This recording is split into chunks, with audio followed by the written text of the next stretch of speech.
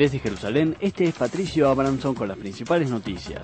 El secretario general de la ONU, Ban Ki-moon, dijo que ordenará una investigación por el video que muestra a terroristas palestinos lanzando cohetes desde una escuela en la franja de Gaza, establecimiento que es administrado por las mismas Naciones Unidas. La portavoz de la ONU dijo que este tipo de incidentes ponen en riesgo las inmunidades especiales de la organización internacional en zonas de conflicto. Estados Unidos e Israel condujeron una rueda de diálogo estratégico liderada por el subsecretario de Estado Nicholas Burns y el vicepremier y ministro de Transporte israelí Shaul Mofaz. Los equipos norteamericanos e israelíes discutieron la influencia que está teniendo Irán en la región y los esfuerzos diplomáticos que se están realizando para evitar que Irán acceda a las armas nucleares.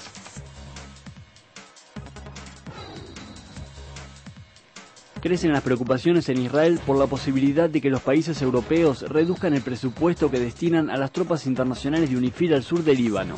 Estas fueron ampliadas de 2.000 a 13.000 como resultado de la Segunda Guerra del Líbano entre Israel y Hezbollah. El ministro de Infraestructura y dirigente del Partido Laborista, Benjamín Ben dijo el jueves en una entrevista radial que la desconexión de Gaza fue un error. Según Ben Eliezer, una movida como la retirada de tropas y colonias de Gaza solo puede ser exitosa cuando se traspasa el mando a manos responsables con garantías basadas en acuerdos internacionales.